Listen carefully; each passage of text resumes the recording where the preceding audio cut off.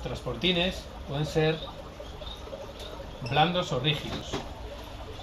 Eh, es bueno tener un transportín porque bueno, siempre lo podemos necesitar, o bien para viajar, porque vayamos a alguna parte y nos llevamos nuestra mascota, o simplemente para llevarle al veterinario, a alguna consulta o alguna cosa.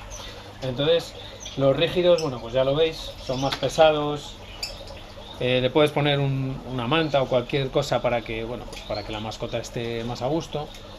Y los blandos, como veis este, pues son para ellos más, más cómodos y para nosotros también, puesto que son más manejables, los podemos llevar en bandolera, tiene asa, podemos cerrar aquí de forma que el animal siempre lo vas a estar viendo. Y luego también, si queremos viajar con ellos, eh, podemos utilizarlos, este por ejemplo, está homologado para ir en avión.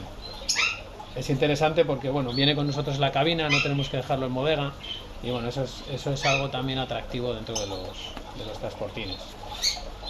Y bueno, un poco más, como veis, pues eh, es, un, es un transportín en el que está a gusto, porque es, es cómodo para él, es bastante amplio, es importante que él se pueda dar la vuelta y que no esté, pues eso, eh, como enclaustrado ahí, ¿no? Y que no tenga sitio donde moverse.